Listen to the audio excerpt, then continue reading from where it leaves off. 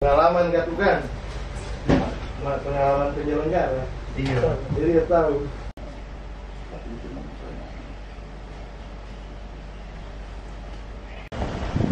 Oke. Okay.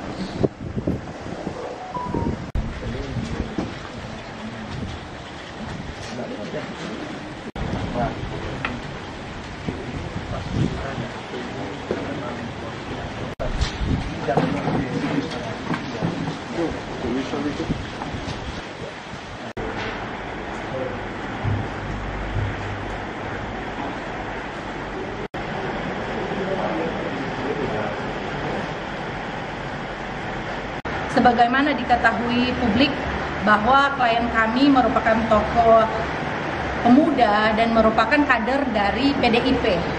Nah ini sangat merugikan dan uh, laporan yang sudah diterima oleh Bawaslu harapan kami nanti akan diproses dan ditindaki.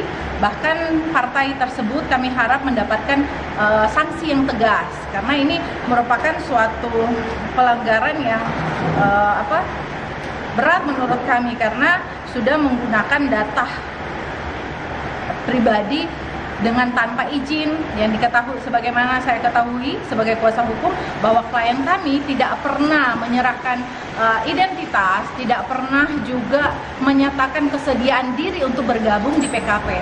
Untuk langkah pencegahan untuk mendukung tidak terjadinya pelanggaran verifikasi administrasi Nama pengadu tadi kita akan rekomendasikan ke KPU untuk kita tindak lanjuti.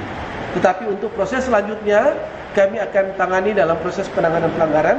Jika dibukti ada pelanggaran memang akan ada proses selanjutnya sesuai dengan Undang-Undang Nomor 7 2017 termasuk dengan PKPU Nomor 4 2022 tentang bagaimana proses pendaftaran parpol dan verifikasi administrasi ini.